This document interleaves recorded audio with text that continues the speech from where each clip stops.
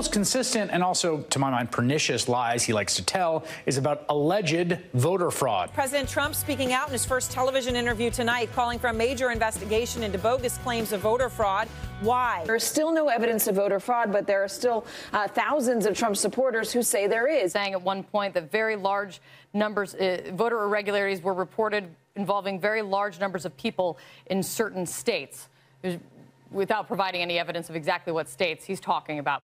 Well, a Pew Research found that um, 2.75 million Americans are registered to vote in two states. I Guess they don't think any of that is really important.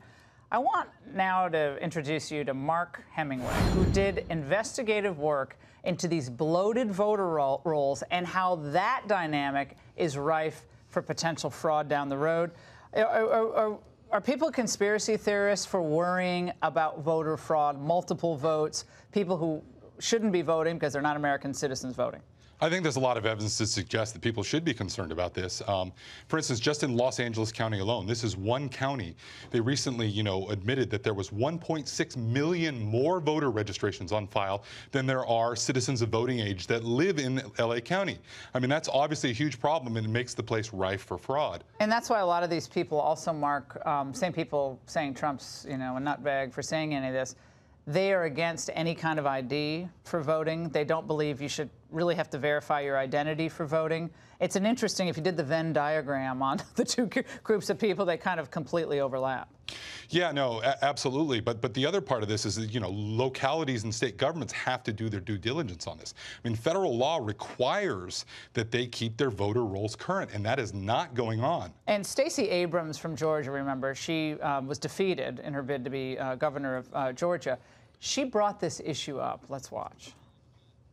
More than a million citizens found their names stripped from the rolls by the Secretary of State.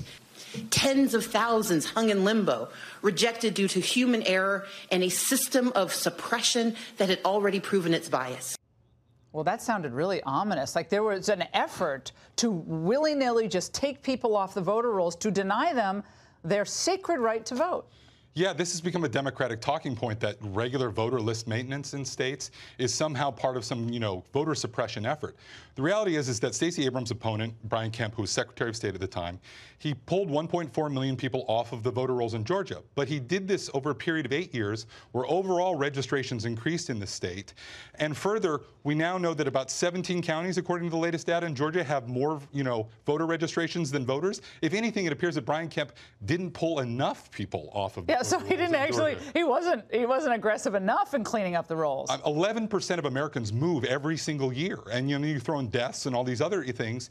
Voter rolls have to be maintained, and now Democrats are saying that it's basically a sinister plot if you go ahead and do this. You know what this reminds me of? Just the way you worded this. It reminds me of the way they treat the border. That merely enforcing current law is a racist thing. Like merely deporting people who have literally been ordered deported by a federal immigration judge.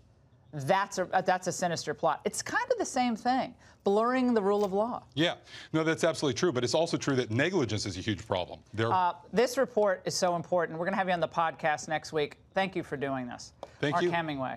Last bite up next.